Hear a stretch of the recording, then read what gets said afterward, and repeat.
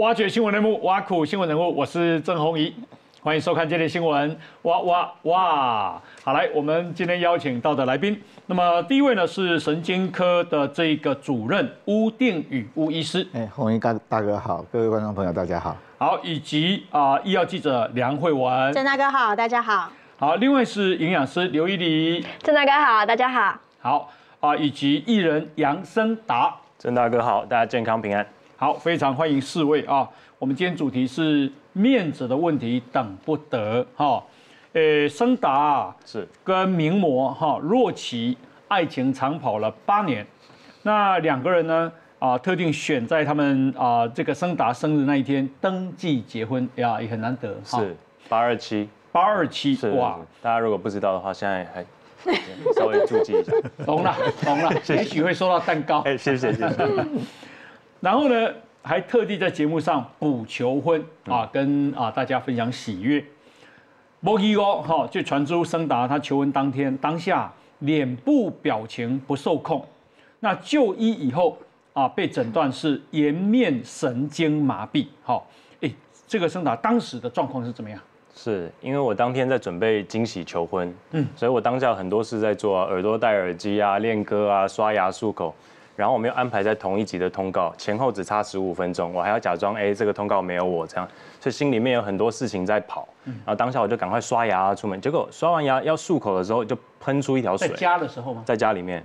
然后我就哎呦，我有这么紧张哦，我自己都不知道我这么紧张。但是当下看镜子啊，也不会觉得有什么差别，因为我没有笑啊，做任何表情，我就是觉得哎我这么紧张哦，这样擦擦脸，然后。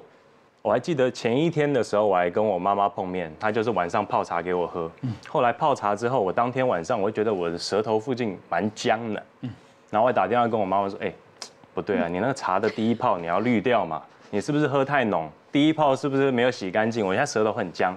这两件事情我都没有觉得有什么特别。嗯后来一直到当下就是录影，然后那天唱歌，结果意外唱的还蛮好的。那唱的很好之外，就是录影的当下回去看。发现我当天的笑容都是这半侧没有在动哦，然后我太太还觉得我很紧张，然后我一直额头冒汗这样子，然后我就是笑都变成有点有点类似这样子，这样在笑，因为右边不右边不动嘛，是完全不受控。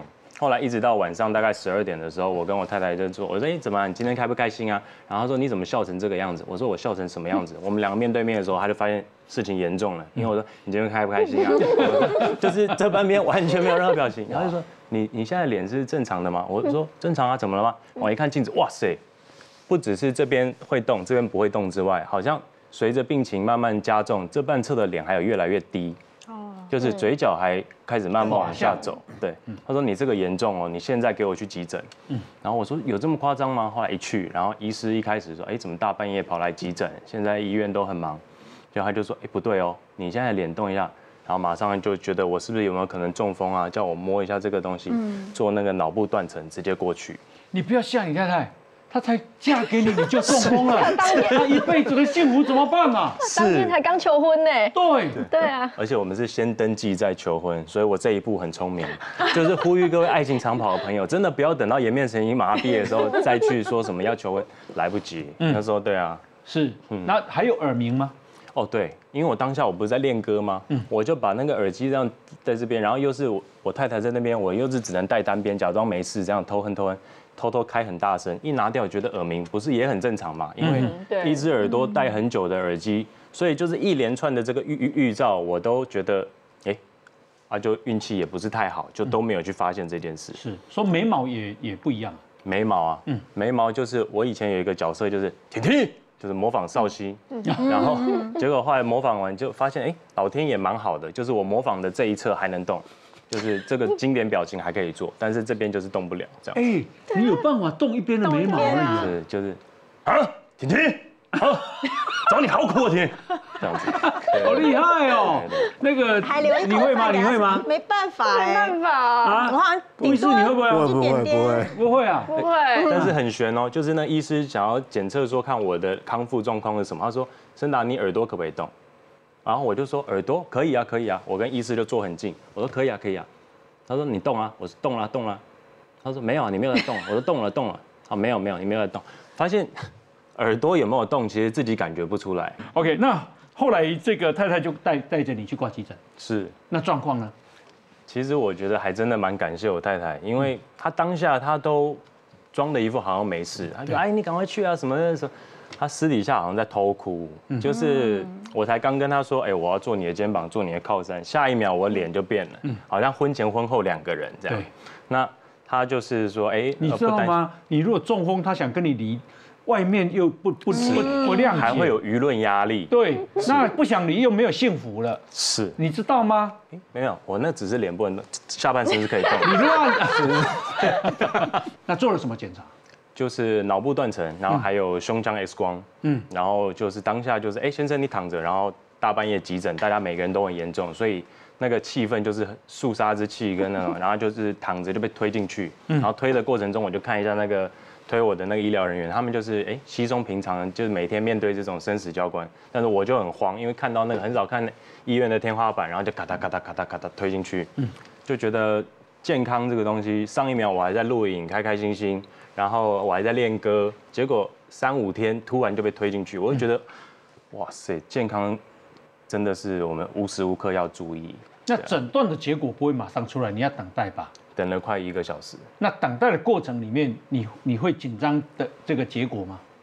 就是还会觉得说这是不是一场梦？嗯，就是我怎么现在躺在这边，然后我现在哎，我三十五岁吧，我是三十五岁没错吧？嗯，然后周遭也看一下，然后我太太也在旁边，我觉得说哎，而且我当下我还根本不清楚到底为什么会发生这件事，嗯，是不是被传染啊还是什么？我没有压根没有想过有可能会终身不会好这件事，有想过会中风吗？是没有，没有啊。我就一直觉得说睡觉睡饱睡个两三天就没事，嗯嗯嗯，对，然后后来就发现哎真的越来越严重。哦，那医生诊断的结果是什么事？医生诊断的结果，他就是说，哎，那就确定是贝尔氏颜面神经麻痹。贝尔氏贝尔氏颜面神经麻痹。对，啊哈哈哈。然后我当下就去看，然后我也很乐天，我想说，哎，我现在眉毛什么东西好像动不了了，不然我去买个面具好了。然后我就自己去买了一个五十九块的面具，然后做了一些手工艺，就是做成了这样的面具。所以有一阵子我在节目上出现的样子是是这这个样，这个样子。就看不出来这样大家就看不出来你你颜面神经麻痹了。是，然后我就觉得，哎、我真是个天才。然后我还跟我还跟医生讲说，哎、我还做了一个面具，这样蛮帅的，这样。然后也有一些粉丝朋友说，哎、森达，你好像戴面具真的比较帅。这是称赞吗？对对对，我就想这个这句话好像话中有话，但是医生跟我讲一句关键说，就是你舌头没有麻痹，基本上你真的算是那个祖上积德，因为有些人。他颜面神经麻痹之后，他是会嘴巴会流口水，舌头讲话会大舌头，然后我才回想说，我后来还去表演唱歌什么东西，真的是神经太大条。哦，好好好。是。那请教这个吴医师，什么叫做颜啊贝尔氏颜面神经麻痹？好，我知道，我觉得生得还不错，他那个精怎么样，人格特质还不错，不会这么恐慌啊。是。不过大部分的病人看起来就是个痞子，你没看发现？因为大部分病人他碰到这个情况，因为前一刻可能脸都还非常正常嘛，嗯但是下一刻脸歪掉，其实大部分都很恐慌。嗯，那的确很多人都会怀疑自己是不是中风了。对是好，那其实颜面神经麻痹，其实它分造分成叫做中枢型的颜面神经麻痹跟周边型的颜面神经麻痹。那我们讲的贝尔氏颜面神经麻痹就属于周边型。周边型。周边型，对。那怎么样区分呢？我觉得可以稍微讲一下哈。嗯。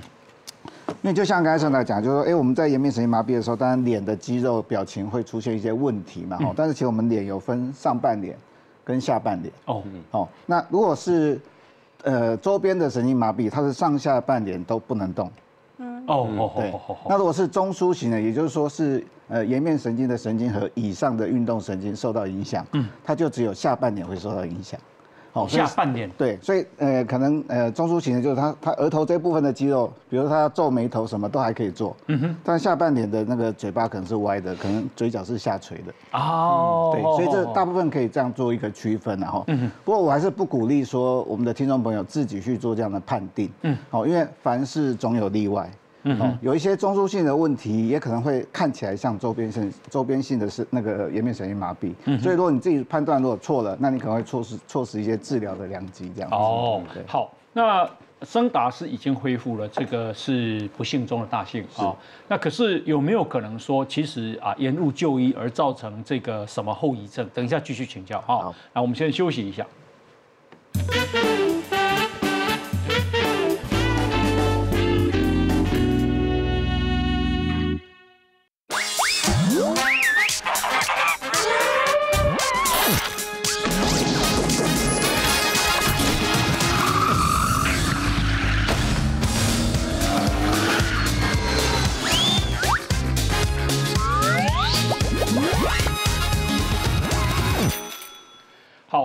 这个森达在请教，就说你现在去回想，你啊多这个状况不太对，你觉得有多久了？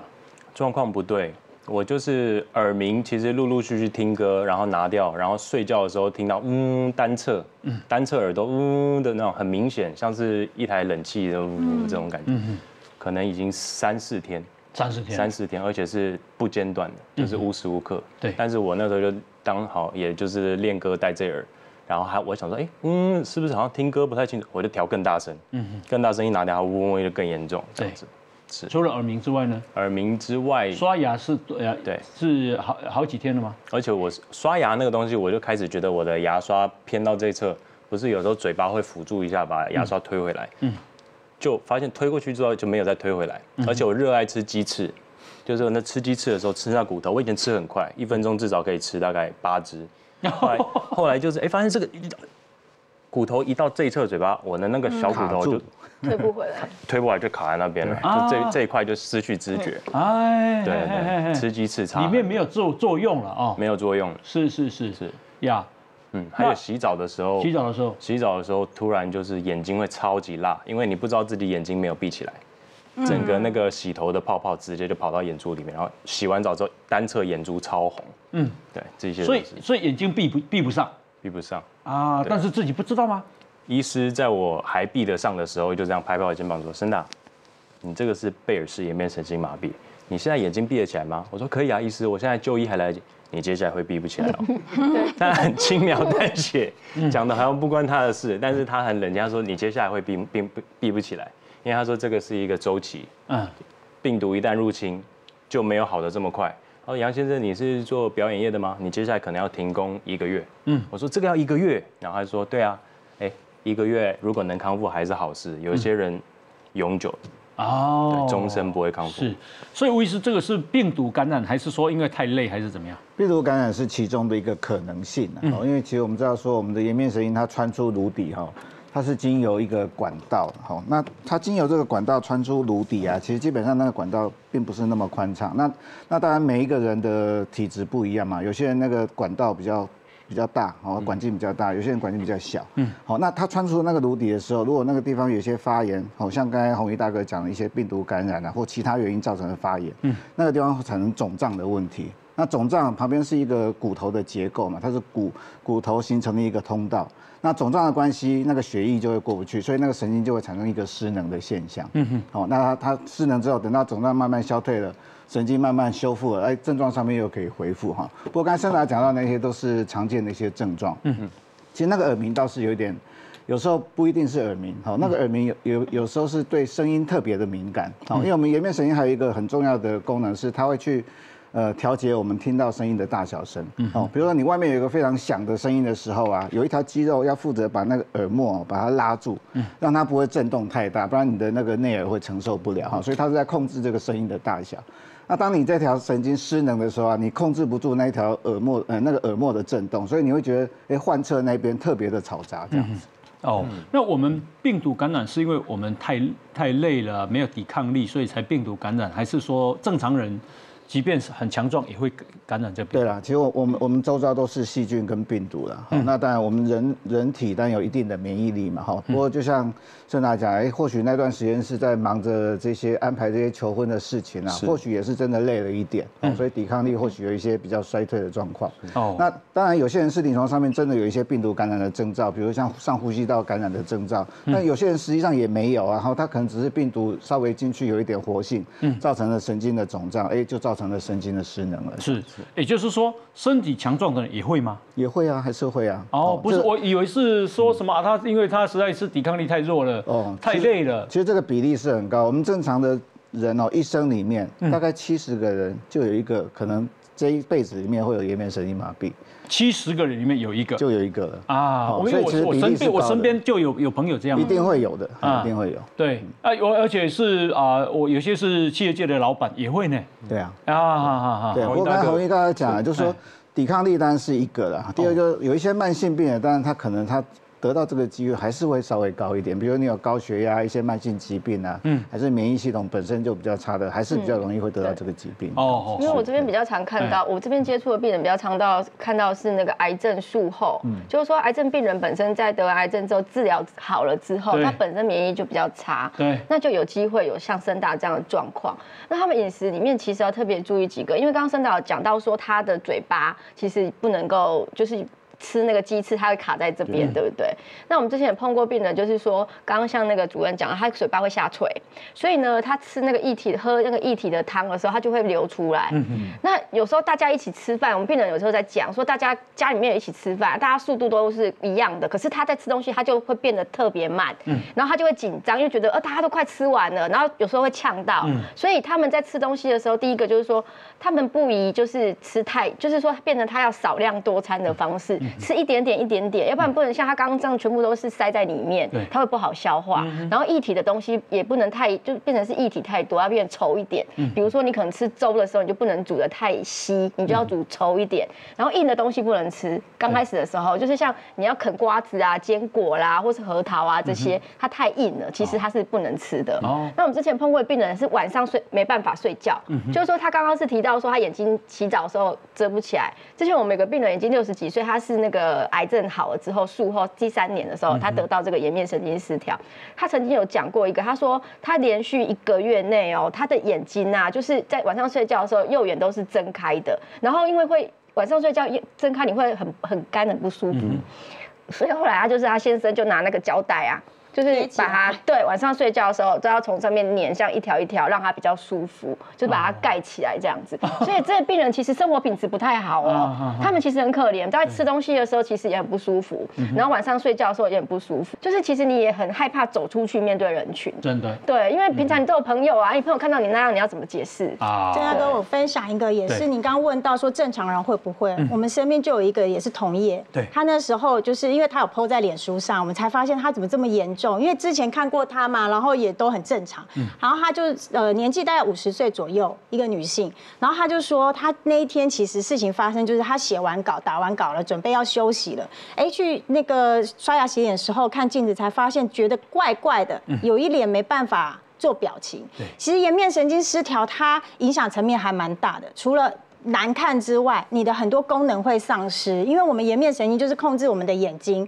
控制我们的嘴巴、讲话啦、吃东西啦。然后像刚刚森达讲的，他确实他说后来隔天早上起来更严重，因为他那个洗面乳一直跑到眼睛，他眼睛这边没办法动嘛。大家想象一下，半边脸不能动。然后呢，他说除了这个刷牙，然后刷牙之后水一直流出来。像你一样就用喷的，那这就很奇怪了嘛。然后接下来他说前两个礼拜简直就是噩梦，因为他吃任何东西都要用手去帮忙，去把食物推过来，然后还要一只手捏嘴角。这不然他汤会一直漏，因为他没办法咬啊，让它流下来啊然后他说真的很可怜。真的很像那个中风的之外，他觉得比小孩在学吃饭还还要艰难。啊。他到最后，他就是每次吃到这边就是咬的很痛之外，他就放弃吃了，不想吃了。他那就是好处是说瘦了好几公斤 这样子，但他说那个对于心理上，你会一直很担心自己到底会不会好。嗯，然后他非常认真，因为当记者的嘛，所以他非常认真。他说那时候除了配合西医之外，他几乎天天都有去做那个复健。做脸部的复健，然后自己做按摩，一直按，一直按，一直按，然后还有去做针灸对，所以其实他也是搞了大概半个多月以上哦，才慢慢康复起来这样子。那生导你多久才好？我前前后后将近一整个月，嗯嗯，就是到最后就符合医师的要求，说耳朵恢复到当初可以动的那个速度，嗯，但是现在时不时晚上耳还是朵能动吗？耳朵可以，有哎，有现在哎可以了，对。对，康复了，康复了。中间做了什么？哦，我这个一开始就是医师就说，哎，你的血压有没有问题？像刚刚说有些是高血压引发，他就说你开始要监测自己的血压，但我血压也是蛮正常。后来他就说，那假如血压药不需要的话，那就是高剂量类固醇先压，嗯，因为他怕你那个病情还会再持续恶化，他就是先把它压住，嗯哼，那压完之后他就说，再来就是你要不要忧郁，心情要开阔轻松。新婚怎么忧郁呢？哎，但是但是怎么讲，就是我整天看我太太强颜欢笑的样子，其实看了会更忧郁。其实病人对脸部，你怎么知道你太太强颜欢笑呢？就是她她笑的时候，感觉好像笑的比我还僵。啊，我这边强颜欢笑。是，后来我我因为我就是属于乐天派嘛，我是不是做了一个面具嘛？后来我就发现对艺术这个领域做出一些兴趣，就开始挑战挑战一些更高难度的面具。这样做着做着之后，突然有一天戴着这个面具就说：“哎，这面具做的，我康复了。”哦，对，无形间我投入在一些我自己喜欢的东西。我觉得这个也是我想要讲一件事情。有些人。就是我有一些粉丝，他年纪比我更轻，二十二十几岁。他说：“哎，申大哥，你是不是也有颜面神经麻痹的问题？”他说：“我也有，怎么办？我好忧郁，我不想碰我朋友，不想碰我家人。嗯，但是我好像没有这个状态，我就是哎做自己开心的事，然后继续工作啊，继续做自己。然后重点是睡觉变得超正常。嗯，然后每天就是吃饭啊，什么东西就照三餐吃，吃营养均衡，然后睡觉超正常。我觉得现在正常了哈，超级正常。”老婆幸福了哈，开心开心，没有影响过下半身同一个。他现在的笑容很自然了哈，自然自然。对，那个面具可以戴吗？啊，可以可以。哎呦，展示一下这个还没曝光过，就脸就康复了。好厉害，漂亮，是不是？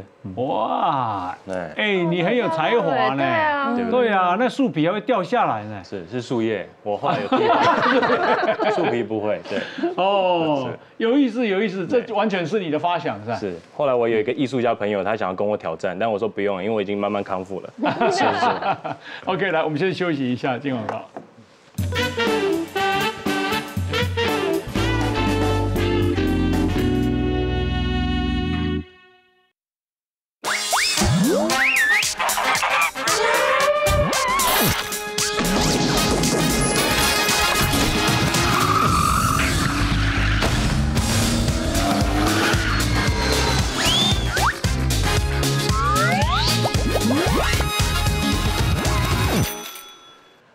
好，威是这个，如果说这是病毒所感染的，那啊，比方说这个生达他感染了以后，太太会被他感染吗？呃，每个人有不同的抵抗力啦，或许他们周遭有同样的病毒跟细菌，但不见得每个人都会受到感染。嗯，哎，啊，当然，呃，有这个机会，但是不见得它会发生，因为我们刚才讲过，每个人的体质不太一样，那个颜面神经钻出颅底的那个管道大小也不一样哈，或许他们同时感染了，但是他。太太那个管道比较大啊，所以神经没有造成什么损伤。所以如果我们家人感染的时候，家人其实不需要回避，你的意思是这样吗？不用特别回避哦，除非他是比呃比较比较像是那种带状疱疹那一种，那可能就稍微要注意一下。嗯，比如说抵抗力家里有抵抗力不好的人，像刚才讲的癌症病人啊，还是太小的小朋友，太弱的，哎，那种就尽量还是不要去接触比较好。那对啊，这个颜面神经麻痹跟中风的症状有不一样吗？通常中风哦，只有颜面神经产生无力的现象，这个是很非常的少。好，除非它的中风范围非常小，刚好只影响到这个脑干的那个脑神经的那个区域，它才会只有这个问题。不然通常还会合并其他，比如说哎，另外的手脚无力啦，嗯，还是有这个感觉异常等等。哈，所以单纯只有这个颜面神经麻痹的中风，应该是非常少见。哈，不过当然我刚才有讲过，凡事都有例外。对，还是有可能的，所以你还是要医师帮你判定说有没有可能，像电脑断层的制作，我想那也是非常重要，你必须要排除掉这些可能性。我我的意思是说，如果我们今天家人啊有一个人像森达这样啊，他刷牙开始有问题了啊，是啊，水流下来了啊，呃，鸡鸡爪已经没办法，这样子我们如何判断？这是中风还是啊颜面神经麻痹？对，就就这个东西应该是留给医师专业来判断会比较好。哦，所以去就医是就赶快就医就就医是最好的方法。那其实升达是有一点稍微延迟到。哈，因为我们刚才讲到说这是一种神经发炎肿胀，嗯，所以高高容量呃高剂量类固醇的使用是非常的重要。哈，因为你及早使用，你可以让这个发炎反应降到最低，肿胀的情况越来越少，那这个神经的破坏就会少，因为神经破坏一旦多，就会讲到我们刚才的复原的可能性哦，虽然这个八成五以上九成都可以完全恢复，嗯，但万一你破坏的太厉害，有可能它后面恢复变成只有部分的恢复，甚至完全不恢复这样子。所以所以啊，这个治愈率是八九成，八九成啊，是蛮高的。那如果没有治愈的状况是怎样？就是呃，如果是部分的恢复，就是他表情比较大的时候，哎，可能扑克脸没事，对不对？哈，因为没本来就没什么动作嘛，但是他。尤其是喜剧演员啊，如果说需要做很多表情啊，那就一定会有影响到。如果有发现症状的时候，就不要拖。嗯，那一般来讲，在前面的话，你像我们刚刚讲，我那个朋友他们有西医有中医，因为现在还会合并针灸治疗部分，效果是很好。嗯，所以如果你是有拖，我相信森达星可能他年轻，所以他恢复状况非常好。那大部分都是在大概半年之内是会慢慢恢复，但是当然就是像医生讲，就是说每个人体质啊，或者是他的状况不一样，所以有些他可能不会到完全好。嗯，对呀。森达平常是一个重视啊营养啊运动的人吗？睡眠的人吗？我我很重视哎，因为我三餐都自己煮，然后我都尽量吃原食材的东西，然后一天要吃三餐，所以那时候突然生病，我是完全状况外。嗯，然后去医师那边，他就说，哎。你是不是一个压力很大的人？嗯我说压力，我不觉得这个什么压力。但是后来发现，我不觉得压力的那些东西，反而造成我晚上啊睡前会想梗啊，会划手机啊，会去想东想西，什么东西好玩啊什么。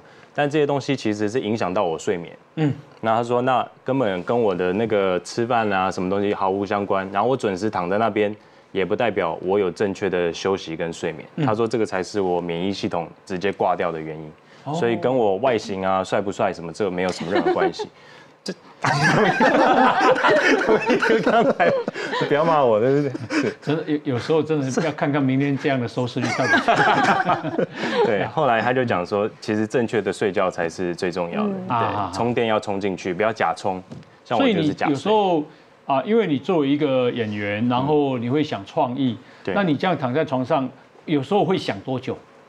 有时候想一想，不自觉可能会到一两点，啊，那几点躺上去？可能十二点就躺了。哦，啊在那边躺一两个小时。对，就是我觉得半梦半醒间，然后有时候想到一些好笑的，还会 笑一笑，然后起来又想不清楚刚刚到底具体想了什么。嗯，然后就讲说，哎，既然想到现在，起来小个便吧。就是陆陆续续好像忙东忙西，又忙了不少事情。对对，搞到两点才睡。对，差不多就两点，然后两点之后，哎，一下又到隔天，然后睡觉也不会说深层睡眠多久这样子。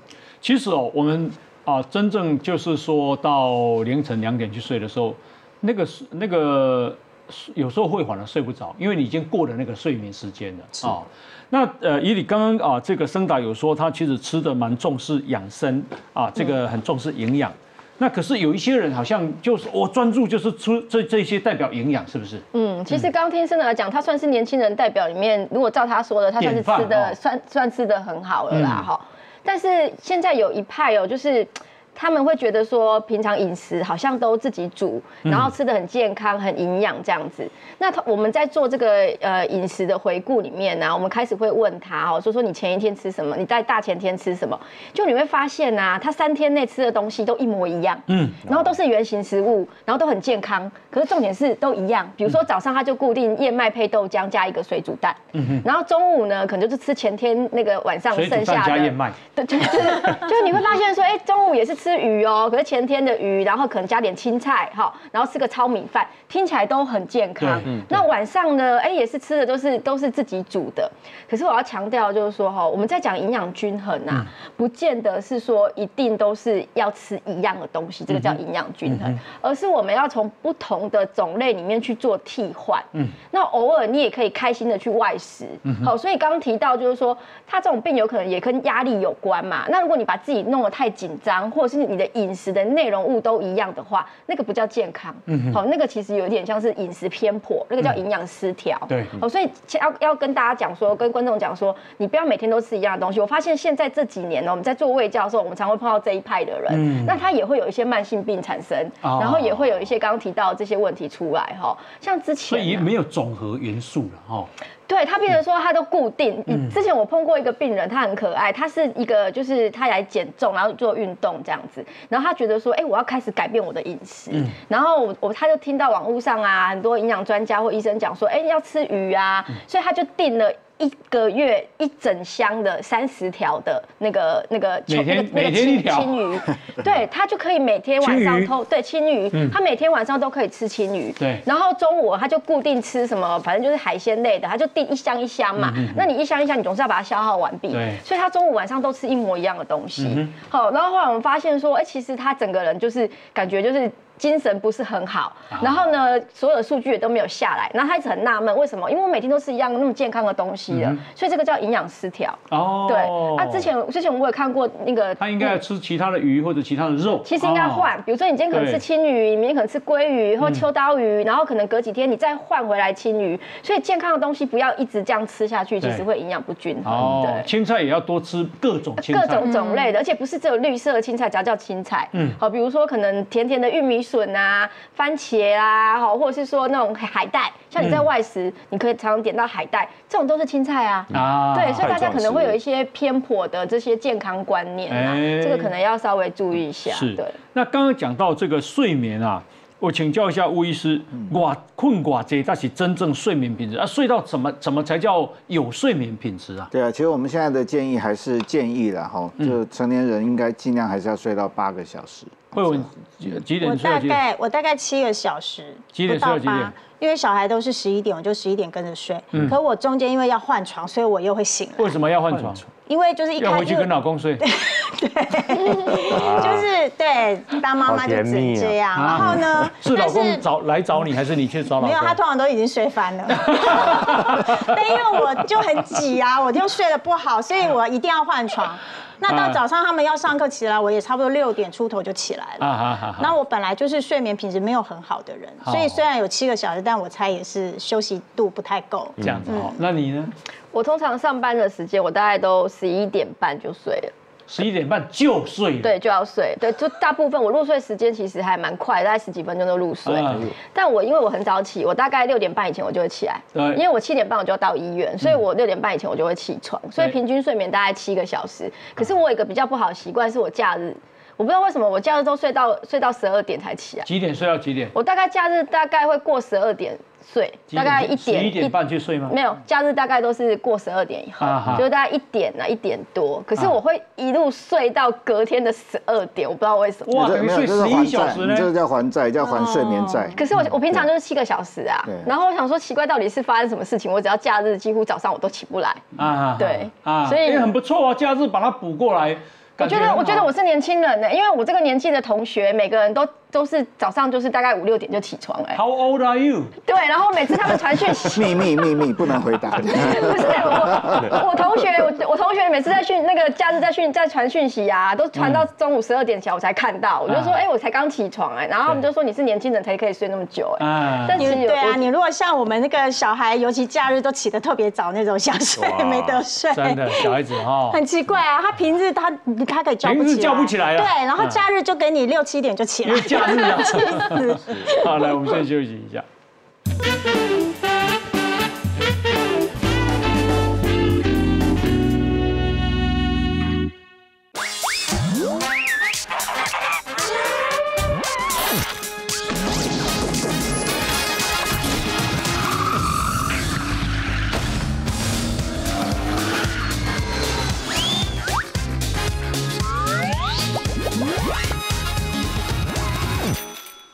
那吴医师啊，你啊强调睡眠的重要啊，你自己的睡眠怎么样？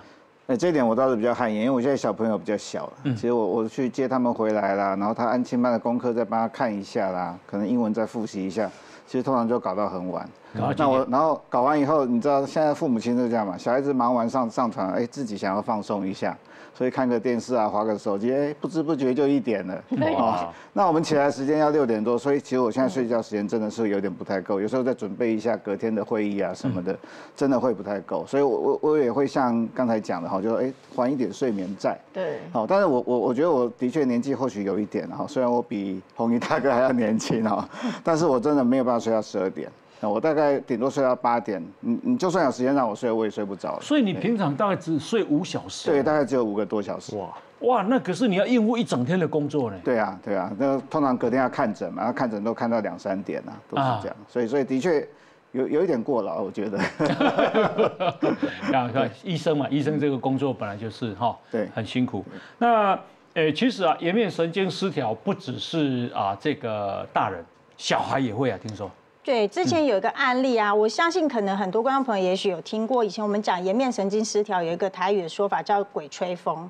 哦哦，有吗？有听过吗？有有有有有有。那他就是呢，呃，之前有一个小朋友，他是在八岁三呃八岁左右，然后他本身因为就是有异位性皮肤炎，所以就是比较怕热。然后他的爸爸妈妈就想说，那你晚上睡觉这样子吹冷气不太好啊，又怕他会感冒这样，所以后来是选择用那个呃电风扇给他吹。可是用电风扇吹来讲的话，其实如果你吹身体的部分还没关系，他是给他直接吹头。吹到脸的部分，那他就是一个晚上起来，哇，第二天马上就颜面神经就麻痹了这样子。所以其实呃有一些医师他们就会特别提醒，就是说，当然也不止像我们现在是因为呃季节交替，就是秋冬一般来讲病毒比较就是活跃嘛，然后。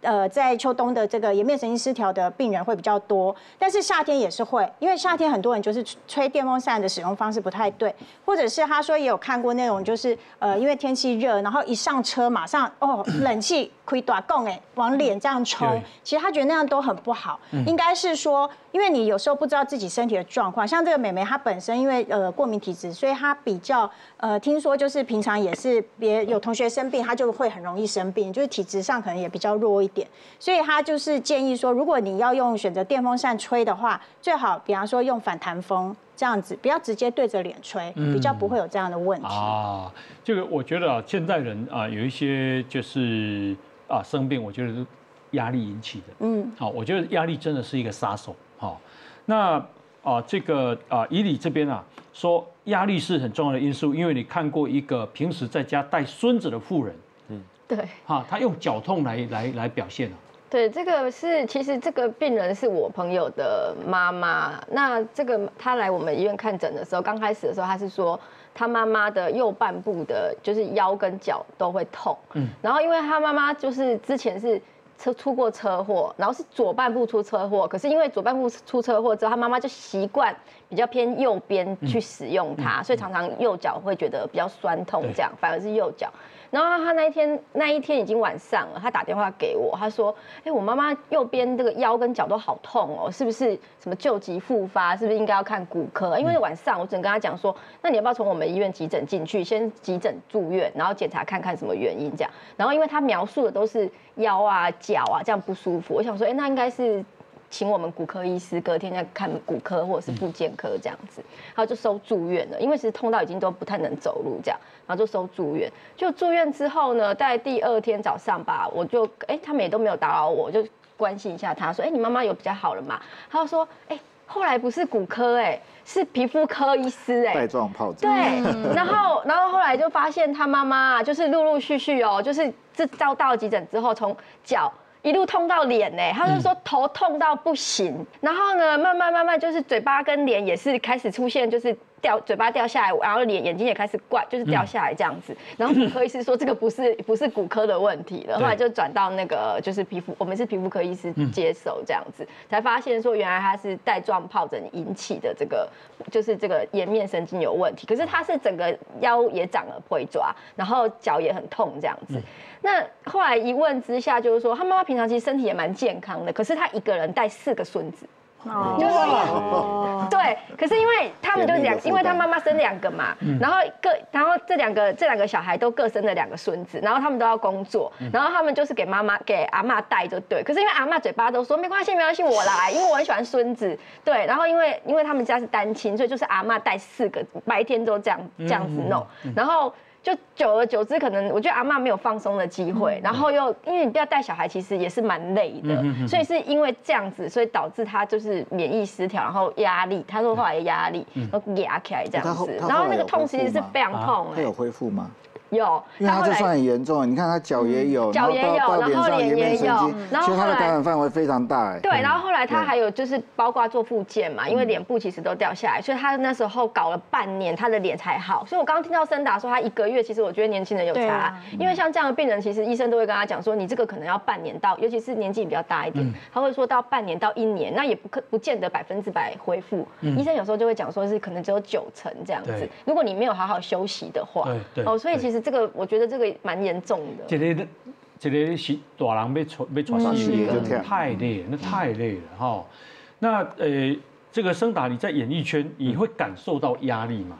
感受到压力，嗯嗯，我觉得一路上都还算蛮幸运的，就是做自己喜欢做的事情。对，后来我脸就瘫掉，发现这个其实是有压力的。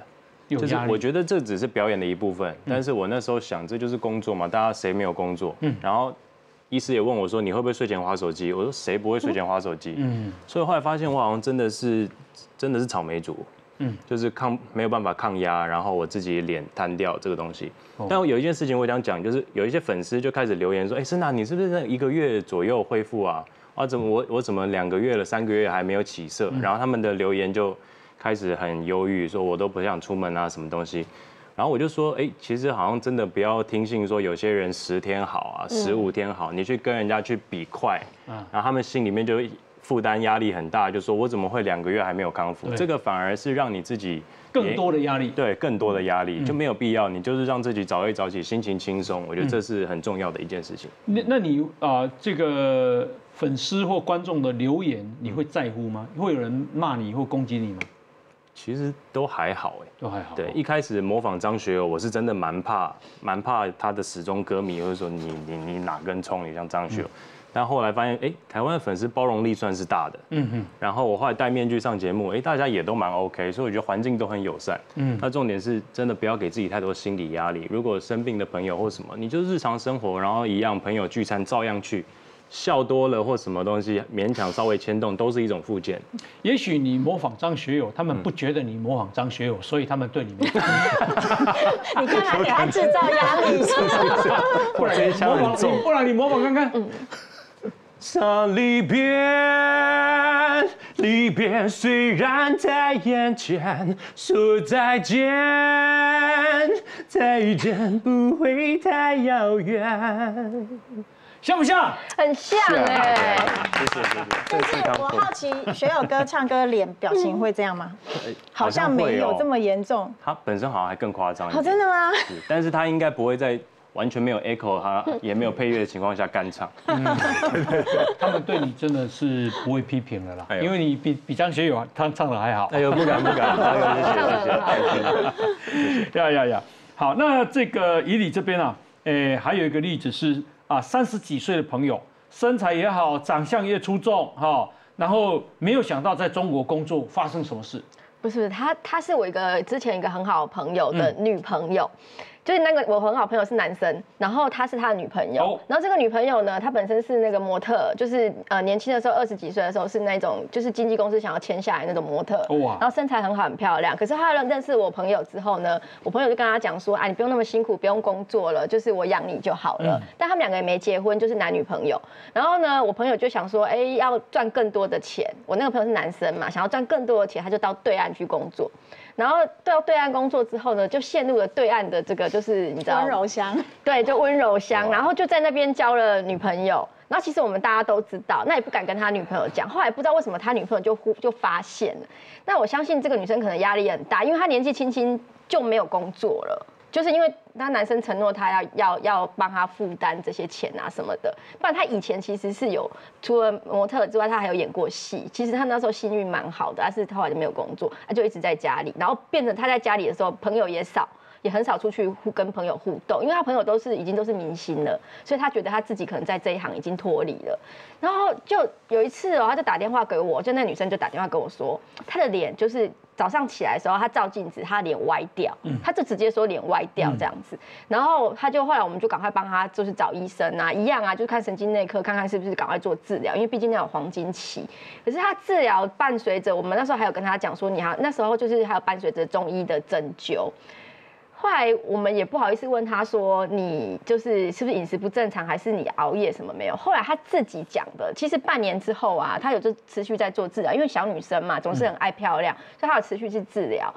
然后她中间有讲啊，她说她知道她男朋友在对岸就是有交女朋友，所以她其实那那那前面那段时间有将近快一年的时间，她其实心情都很不好，然后很郁卒这样子。然后她也是吃素。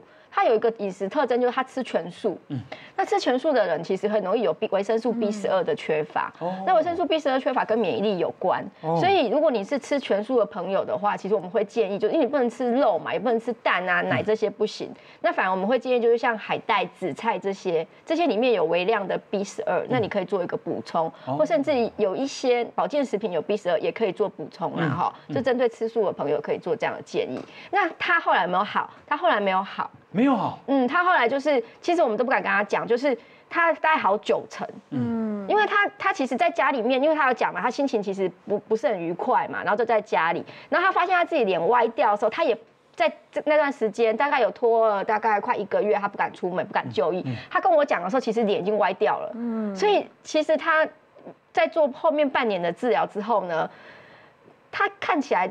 微笑起来还是有一点歪，有啦。你如果九成会感感受得到。对，然后我们大家出去聚会，他还是有问我们说他有没有歪掉，但我们还是会跟他讲说，你其实已经好了。嗯，来，我们先休息一下，进广告。我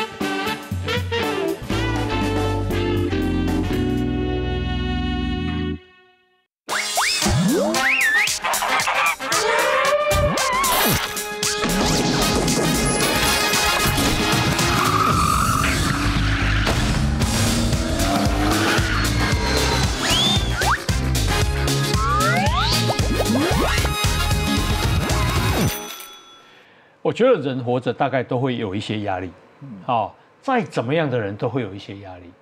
钱太多，因为钱太多，所以有压力，对不对啊？因为你要想着我钱要怎么管理啊，把它守住啊，好。呃，可是我我觉得有压力不是坏事，可是压力不能太大，哦，压力太大就是健康的杀手。嗯，诶，威士，我们啊常常讲说。这个啊，你要疏解压力，这个很容易啦，用讲的很容易哈。第一个，我们应该怎么样评估自己是不是压力太大？对啊，因为压力哈，毕竟它不像血压哈，对，用个机器量一下说，哎，你这压力是多少？一百三、一百四哦，它没有没有这样的一个测量，的确没有这样一个测量方法，所以其实它呃要透过一些观察了哈。那其实会压力大人会容易出现几个症状，我觉得大家可以稍微思考看看。第一个就觉得肩颈僵硬。好，他会觉得这个地方就是不松的感觉，嗯嗯，因为他肩颈可能就随时准备要战斗嘛，所以其实那个交感神经非常强，所以他那个肩颈那边的肌肉自然会变得比较紧绷。对，这第一个。第二个也容易盗汗，哦，也是因为交感过强过强的关系，他会容易盗汗，然后手手心会湿。呃，也不一定，他白天也有可能会这样。哦，对，然后再就是容易心悸，会容易心悸。对，然后再有些人是在脾气上面、情绪上会有改变，他会变得容易生气。哦，易怒哦，然后容易容易看事情都看负面的那一边，哎，因为他他把一些压力转化到变成一个出口了，嗯，他他对对别人去发脾气这样子，所以如果你真的出现这些问题，那也会合并一些睡眠上面的问题，嗯，哦，通常他就睡就睡不好，没办法睡得很深，对他通常就是哎，虽然他可能睡七八个小时，但里面深度的睡眠可能会减少很多，嗯那那这是恶恶性的哦，因为我们人在睡眠的时候，前半段是深度睡眠。后半段是我们叫快速动员期，嗯，好，那快速动员期对我们的情绪的调节非常重要。好，当他睡得不好的时候，其实这个快速动员期如果不够，其实他情绪会容易变得更差。嗯，好，所以这个大家要非常注意。如果你睡眠也变得不好，然后有刚才讲的那些身体上面的表征，你真的要强烈怀疑你的压力过大，嗯，应该要赶快做一些这个调压的动作。有道理。对，我我以前啊，以前那比较年轻啊，四十岁左右啊，那时候可能体力还不错，所以我有四个节目。嗯啊，四个节目，那有一些是一那有一些节目是每天啊带状，然后又两小时的，有一些是像我们哇哇是一个半嘛，四个节目，然后还有广播哈，还有另外一个电视，四个节目，然后呢，我又很贪心，因为觉得啊太实在太迷高尔夫球了，早上先去打高尔夫球，哇塞，好这样子，他说五点啊，那夏天嘛，夏天五点开可以开球了，啊打完之后回来，哇这个呃十十点或者十一点录影。可是呢，老实讲，打完球回来是蛮累的。好，然 后我呃，就是要录影了嘛。可是我都叫我们制作人说，不要来还我，不要来还我哦。小睡一下子。对对对，我小睡一下。就 那个中间的空等才十分钟，我就是趴了一下。结果制作人，因为大家都在等你嘛，扣扣扣，就那个录影喽。我说好哦，再再五分钟，再五分钟，五分钟后再扣扣扣，这不行，这不行了，大家都在等你。我说你够了没？生气了，生气了，非常不高兴的去录影。呀，所以我的意思是，当你把自己搞得压力很大的时候，确实情绪是会失控，啊，真是对制作人不起啊，哈。那呃，那你自己都怎么调节你的压力？呃，我我自己是安排一些休闲活动啊，像我自己蛮喜欢露营的，所以我会自己跑到野外去露营。嗯，对，那当然就是带着小朋友一起去放松了，因为现在小朋友其实小朋友压力也很大，嗯，他们现在的课业压力比我多大了？你小朋友？哎，现在小学，小学压力课业压力很大，就已经很大了，对，因为他们现在。我我觉得他们现在会的东西，我我大概是国中才会，以前啊，哦，对，我觉得这已经有一些年代上的差异，所以他们需要的学习的东西比我们那时候多太多了。嗯哼，对，那我也会带着他们一起去放松一下，这样，那这是我放松的方法。啊，真的，你都怎么放松？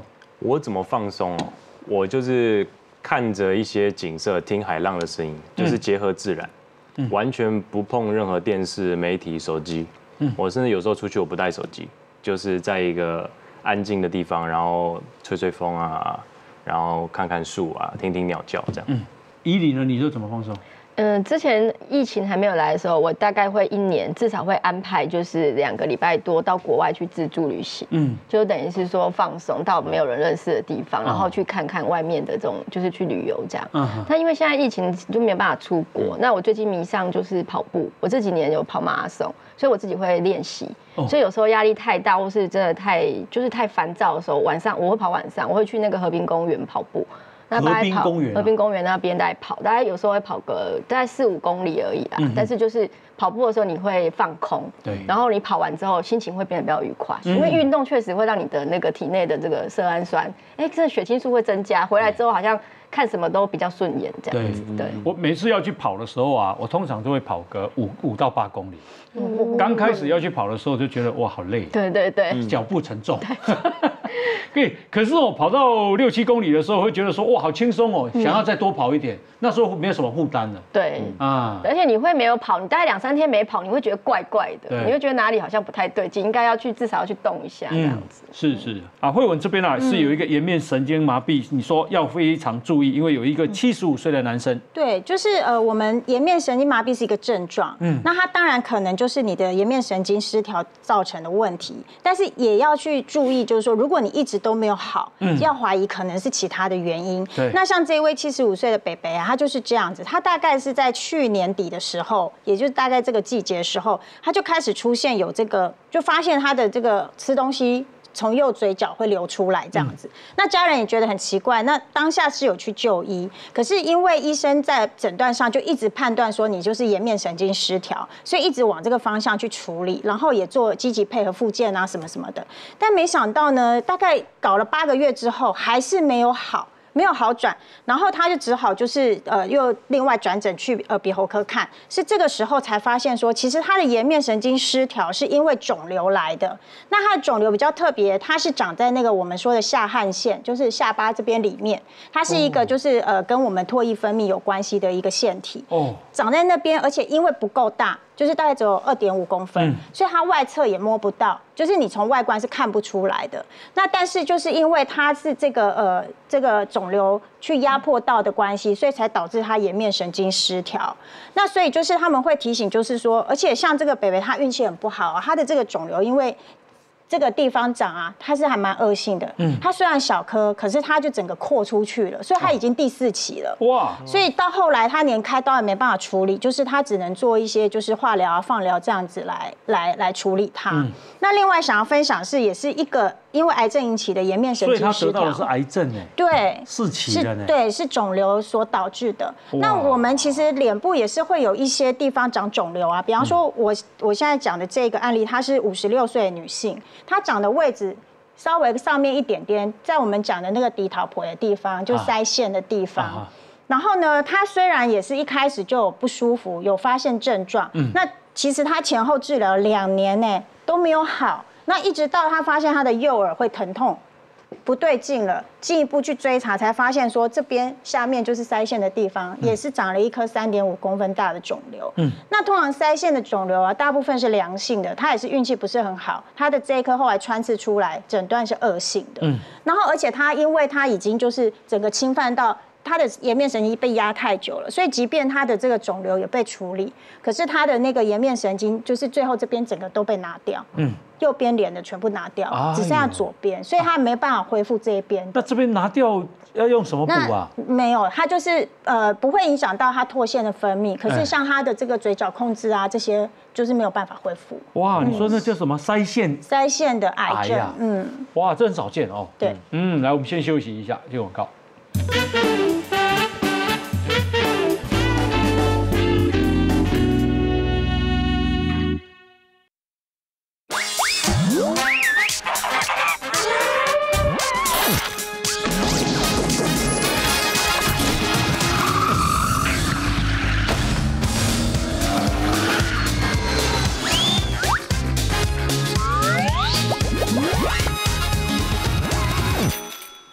哇，吴医师。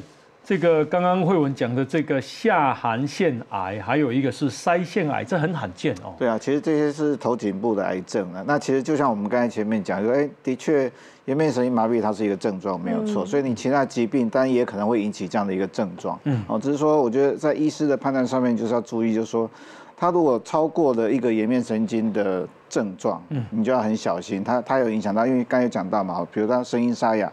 因为颜面神经麻痹人，他不会声音沙哑，不会，所以他这等于多。颜面神经麻痹不会声音沙哑。就是那个那个北北的个案，他就是后来会发现是因为他吞咽困难，还有声声带受影响，才知道说才转一个方向说，哎，是不是癌症？了解。因为表示别的神经有时候，别的脑神经有受到影响，他已经超过了颜面神经的范畴，所以通常多发性的。脑神经不管是两条还是两条以上的，其实你就要非常要强烈怀疑是真的有长肿瘤的可能性。那再就是它的复原嘛，哈，其实它的复原也是不好的了，哈。那复原不好，当然我们说绝大多数的颜面神经它会恢复，哈。但是当对这种复原不好的人，万一他又出现别的症状，那你真的要非常小心，那可能有一个疾病正在进行当中这样子。今年据说有可能是另外一个反圣婴年，哦。呃，圣婴就是让温度全地球温度升高暖化，可是反圣婴就是冬天的时候，今年可能特别冷，有这样的说法吗？有听过啊，就是最近一直大家一直在讲，我们也是很紧张啊，因为小孩子真的很难照顾，就是 天气冷。那不过我们回到刚刚，台湾有一年还记不记得下雪？对对，特别冷。我住在新店的山上，下雪呢，哇，草地有一半是死掉的呢。对啊，所以大家就你不晓得哦，残害，你不晓得吗？我知道知道知道哦。现在冬天的衣服我就已经拿出来穿穿，本本了，这样子。对，那回到我们刚刚的主题，其实呃刚刚有提到说，可能高龄的。朋友也许比较长辈比较容易，因为他抵抗力本身就比较不好。但是其实临床上，我们之前采访医师有特别强调，嗯，三四十岁或者是更年轻的族群也很容易有这个呃颜面神经失调。为什么？他们都喜欢熬夜，嗯，然后呢运动不够，然后像他们呃有发现，就是说像年底的时候，也是一个高发的这个呃的期间。除了这个季节变化之外，因为年底有一些学生要考试，嗯，或者是有一些要结算，公司要结算。这种压力都很大，然后他们也常见了，比方说有年轻人是去网咖，嗯，几天熬夜之后脸就垮掉了，脸就瘫掉了。对，然后也有那个十几岁哦，最年轻看过十几岁的小朋友，就是因为准备考试压力太大，嗯，脸整个就瘫掉，也有压力。对对对对对，所以还是要小心。哎，是吗？我请教你哦，你刚这个模仿张张张学友很像哦，哎呦谢谢。那你模仿他这样要练多久？练多久？其实无时无刻都在练，就是抖音啊，回 test 一二三四五六，我是学勇，yeah，就是从讲话的共鸣，然后开始慢慢发展到唱歌，嗯，但是也不敢说像不像，就是因为那就是一个活教材嘛，就是一辈子听他的歌，你就希望可以往他的路走，那像不像就是看听众朋友还有大家包容，对，包容，谢谢。那你还你还模仿过谁？还有郭富城，大家好，我是富城，一二三四五六，就是一点点这种。有趣的俏皮，哎，大家好，我成龙，耶耶，成龙耶，成龙真的有这样？啊对，我是成龙，我不吸烟，陈家笨，还在加班，对，就是我就是这种小梗啊，日常生活小趣味。这样这样像吗？还蛮像的啊。哦，成龙。对啊，这样我会考，如果我我还没结婚，我会考虑嫁给你。哎呦，真的假的？每天都蛮欢乐的啊。谢谢谢谢，感你有。表演过给老婆看吗？有有，她是我的铁粉，对啊，一。定是哦对，这么有老婆还是个钢。琴老师的，而且他越来越风趣，就是我开始在做面具或什么，他说：“哎、那个我买个墨镜给你。”他就送了我这个，送了这副墨镜给我。我说：“哎呦，这个墨镜，这个挑给我有什么含义吗？”他说：“哎，你除了可以遮一下脸部，这个有没有？他重点是后面垂了两个草莓。”他就说：“你就是一个受不了压力的草莓族。” 对，下面有两个草莓，我就觉得太太也是很幽默。对对对，哎很开心。那他太太是个啊，这个模特，在饮食上是不是非常克制啊？哦，其实我之所以后来瘦下来，是因为因为他年纪也差跟我差不多，在三十多，也开始面临那个软脂的品质，还有什么要去冻卵这个问题，嗯所以他就很注重他的饮食。对，那后来他就开始介绍一些，他去学营养学啊，什么原食材啊什么，他就接触了很多。嗯后来就发现，哎，我帮他煮菜煮一煮煮一煮，我就瘦了快十公斤。为什么？就是一样嘛，少油少盐，然后均衡什么，就肉要看得到肉，不要绞肉，然后不吃精致淀粉，不吃面包，然后只吃白米啊或者地瓜、芋头，然后吃绿色蔬菜，还要块状食物，块状食物包含什么什么花椰菜啊、白花椰、绿花椰、番茄。然后什么玉米笋，什么无为 boy，然后各式各样的绿色蔬菜，嗯就是吃的非常讲究。然后每我们家冰箱打开有点像生鲜超市的那种感觉。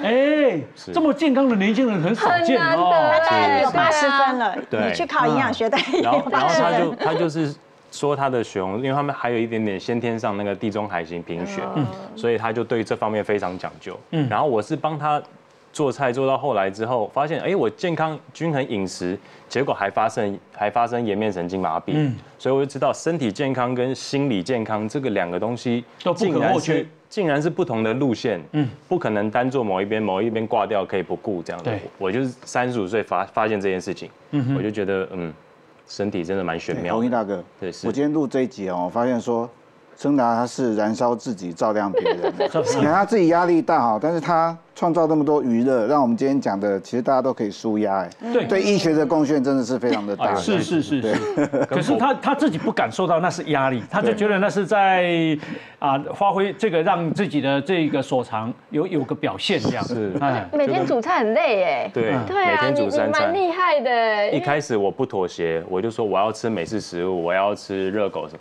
后来发现一天要煮六餐，我真的扛不掉。走一天煮六，后来我就妥协，就照顾为什么一天你煮六餐呢？他的三餐健康餐，我的三餐乐色餐啊，就是煮完他的，煮我自己的。啊，对，后来发现现不行，我就照他，结果突然哎，整个身形也帅了，回春，瘦十公斤哎，对，快十公斤，多久的时间？大概四五个月。哦，那很正啊，常。五个月就瘦十公斤那了，那是蛮健康他是健康瘦蛮健康瘦的气色也好。气色好，气色好，看得出来你精神很好。哎呦，谢谢谢谢。对对对对，那啊，你们跟小啊跟太太想生小孩吗？就是我太太她已经默默都盘算好这些事情，嗯就等我的基因还有准准备好，嗯准备她进行一个爱的爱的一发这样子。对对对，就是现在我还是紧张，因为你说那个带着小孩一起去露营，我现在就是观察到很多长辈还有婆婆照顾四个孙子，弄到全身皮蛇，我就好奇说，到底休闲跟小朋友这个东西的平衡点在哪里？我现在也还在观察，也还在学习。嗯，对，这个就是所以你是想要有小孩的？我还在观察，因为我想说，假如是我自己长大的这个一路以来对我爸妈造成的麻烦，然后我觉得哇，真的我爸妈养我真的辛苦，你你你惹过什么麻烦？就是书认真念也念得不怎么样嘛，嗯，然后到最后大学去念航海系，结果跑去做喜剧演员，嗯。嗯，就是都在走一些分岔路，嗯。嗯，然后到最后我爸妈也是就是默默的忍受我很多事情，就觉得哇，照顾小孩是一条不归路，然后要充满满满的那爱，太太太跟你年纪差不多，有去冻卵吗？已经冻卵了，冻卵啦，对，冻卵了，冻卵不便宜哎，对，多少钱？好像前前后也差不多二十二十几。呃，那冻几颗？他一共要取十颗嘛，嗯。那第一次取卵只取到七颗还八颗健康的，嗯，动了两次，对。所以才开始营养学啊，调整身体，因为发现他的卵子状况已经跟不上他身体衰老的速度，嗯哼，爱的一方还没来，就是等我准备好，我先休息一下就好。谢谢。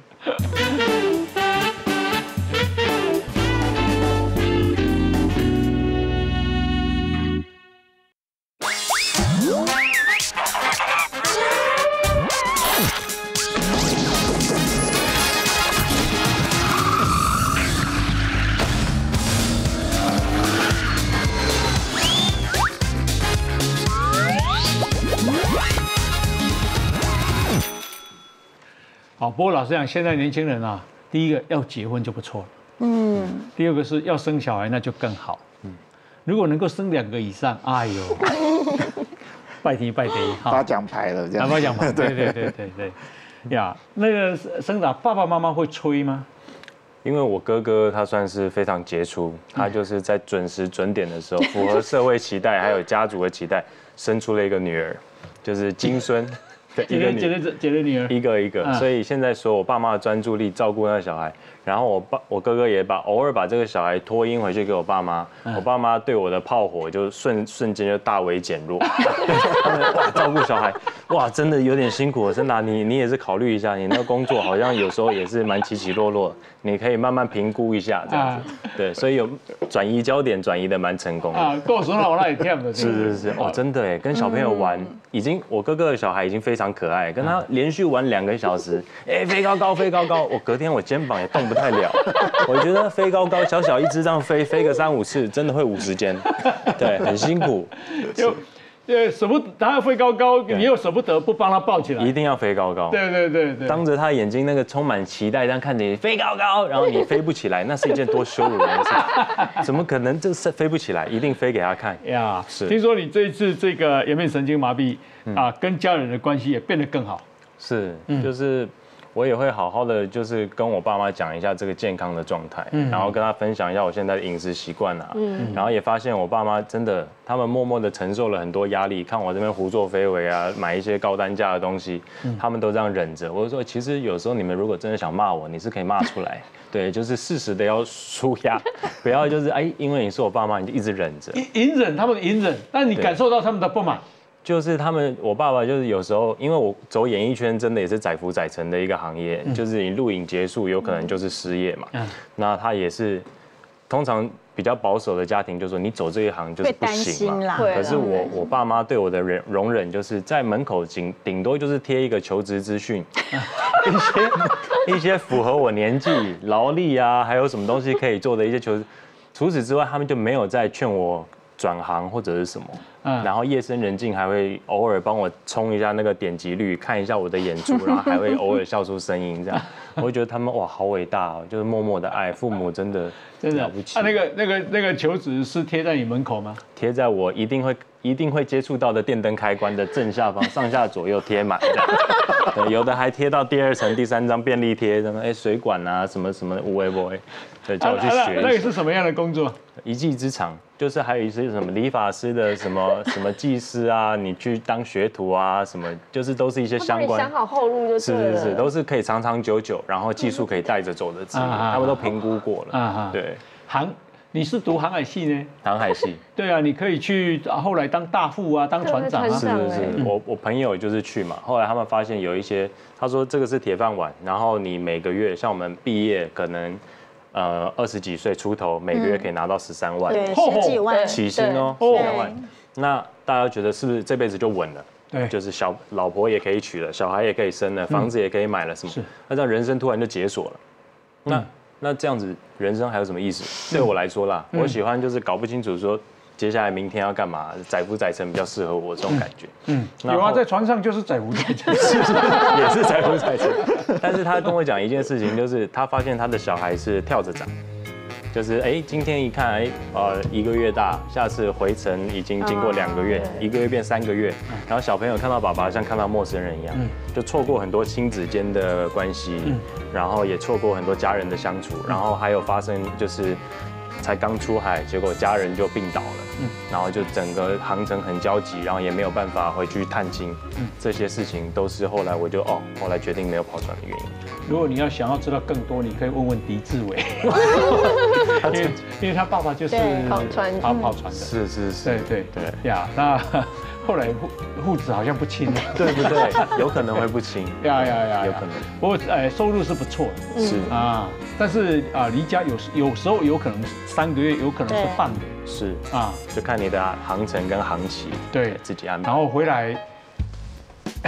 回来，小维就说：“妈妈，叔叔来了，叔叔来了，再加一句跟昨天的不一样。